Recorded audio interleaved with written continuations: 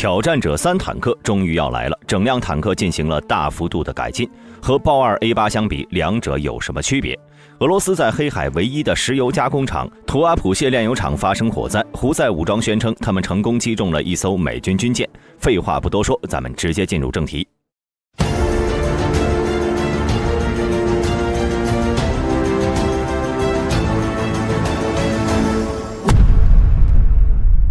一月二十二号，在位于伦敦的 IQPC 国际装甲论坛上，由莱茵金属和 BAE 合资成立的 RBSL 公司公布了挑战者三原型机的第一张照片，并计划替换英军所有的挑战者坦克。RBSL 公司的战略总监非常自信，他当众告诉记者，挑战者三将是北约最好的坦克，也就是说，其生产公司认为挑战者三的性能将会超越豹二和 M 一。所以，我们接下来啊，就看看挑战者三的详细性能。挑战者三的基础呢是挑战者二，在很多地方都进行了改进，比如主炮部分就更换成了一百二十毫米 L 五五 A 一滑膛炮。有的兄弟可能会对这个名字有些熟悉啊，没错，这也是豹二 A 八所使用的主炮，能够发射北约标准的一百二十毫米炮弹以及大多数炮射导弹。毕竟这次挑战者三的生产公司是英德合资的，所以使用莱茵生产的主炮也是情理之中。在此之前，挑战者二采用的主炮为英国皇家军械厂的 L 三零 A 一线膛炮，虽然也是五十五倍镜的一百二十毫米主炮，但是由于存在膛线，所以呢，它对于北约武器的适应性要远低于滑膛炮。比如炮射导弹，滑膛炮呢就可以直接发射，但线膛炮就不行。对于挑战者三来说，安装新式火炮不仅提升了和北约军队的协同作战能力，还让它在愈加复杂的战场环境中拥有更多的选择。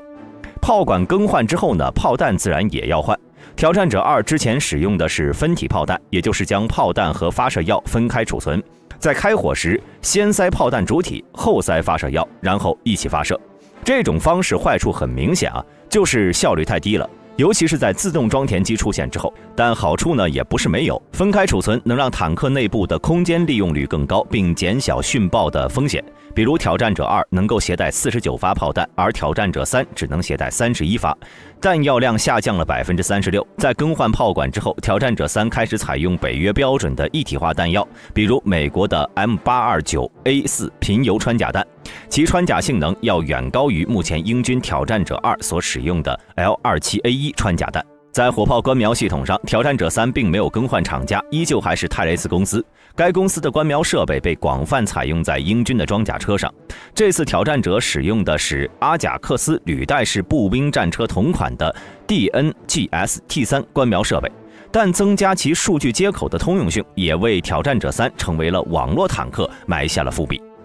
装甲部分的升级大概是最为简单的，因为挑战者二的防护能力已经足够优秀了。挑战者三只为侧面和腹部装甲增加了模块化设计，让坦克能根据战况选择性的进行安装。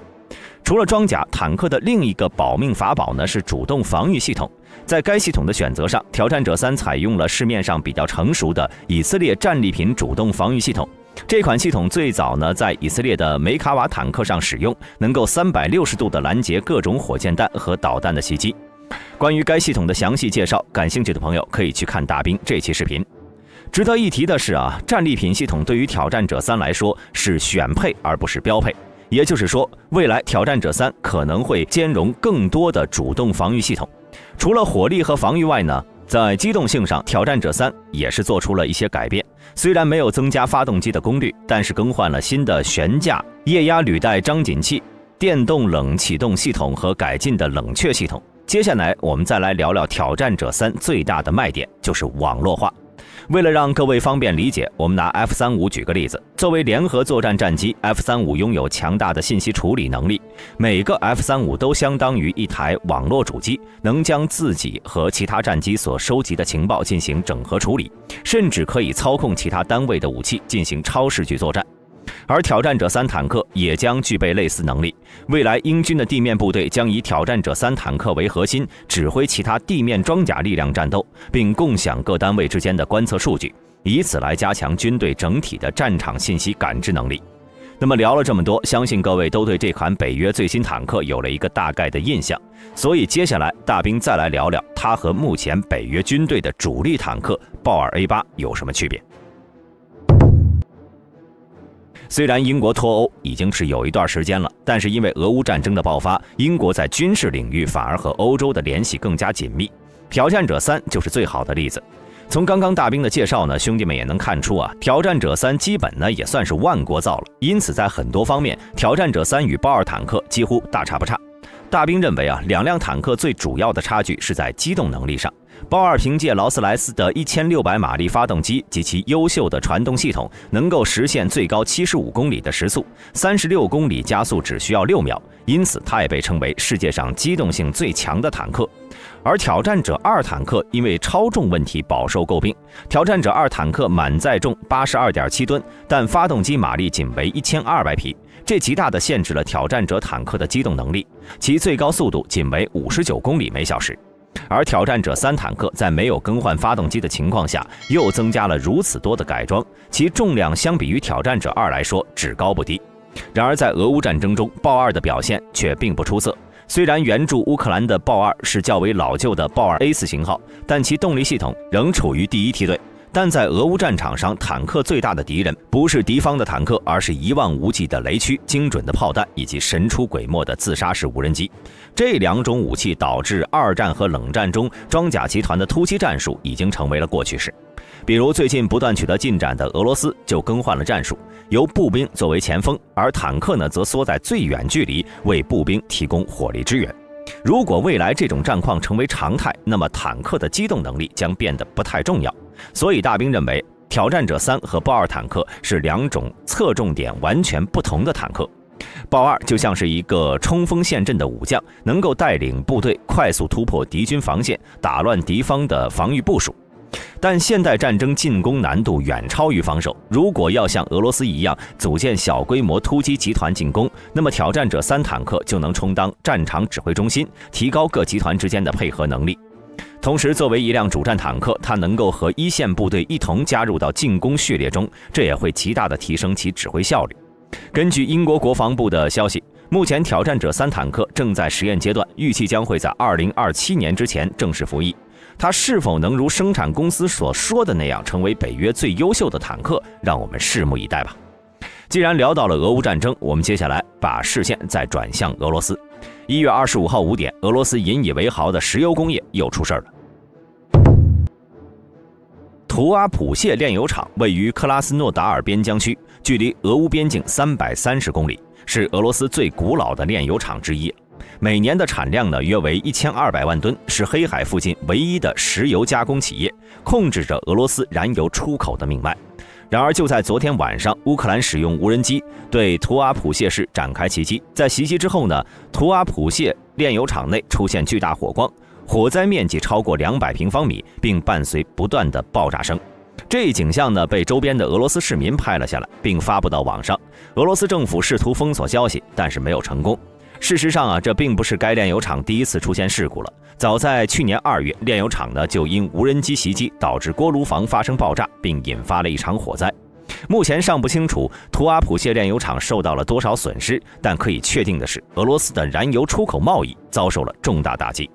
作为俄罗斯轰炸基辅民用设施的回应，从今年伊始，乌克兰就开始对俄罗斯能源工业进行多方位的打击。作为能源出口大国，石油和天然气是俄罗斯重要的经济来源。俄罗斯军队在乌克兰战场上射出的每一颗子弹，都少不了这些工厂的帮忙。在去年五月，乌克兰对克拉斯诺达尔地区的伊尔斯基炼油厂发动过袭击，引发了火灾。八月份，克拉斯诺达尔炼油厂又因无人机的袭击发生了爆炸。可以看出，乌克兰在成体系的摧毁俄罗斯工业，并以此来削弱俄罗斯军队的战斗力。反观俄罗斯。在克拉斯诺达尔炼油厂袭击事件中，军方宣称击落了所有的无人机，但炼油厂依旧发生了爆炸。更为黑色幽默的是，就在昨天，图阿普谢炼油厂发生爆炸时，俄罗斯天然气公司负责人亚历山大·久科夫被爆出，即便俄罗斯工业遭到全面制裁后，其个人的年收入依旧超过了四十六亿卢布，并且呢，为了对抗普京政府的税务审查，他将大量资产转移到了国外。在法国里维埃拉购置了一套豪宅，并记录在他尚未成年的女儿名下。同时，他在戛纳也拥有几处豪宅。每栋别墅的价格大概为十二亿卢布，约合一千四百万美元，充分的为俄罗斯民众解释了什么叫前方吃紧，后方紧吃。不知道正在前线作战的俄罗斯士兵听到这些工业寡头一秒的工资比自己拿命换来的军饷还多时，还能不能保持住战斗意志？在今日战报的最后呢，我们再来关注一下红海局势。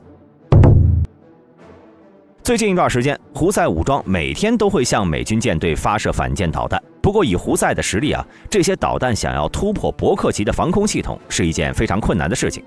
然而，就在一月二十四号，胡塞武装发言人叶海亚·萨雷亚称，当天美国海军多艘舰与胡塞武装发生交火，在持续两个多小时的冲突中，胡塞武装发射了三枚反舰导弹，并击中了一艘美军军舰。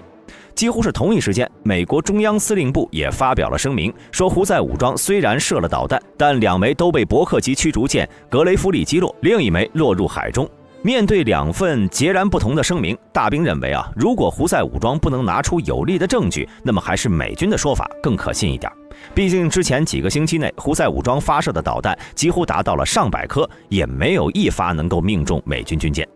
在当年也门内战时，胡塞更是在一个小时内向伯克级发射了七枚反舰导弹，但均被击落。所以大兵认为啊，除非外星人和胡塞武装分享了科技，否则目前的胡塞武装难以对美军舰队产生实际的威胁。对此，朋友们有什么看法？欢迎发表在评论区。本期视频到此结束，我是大兵，我们下期视频再见。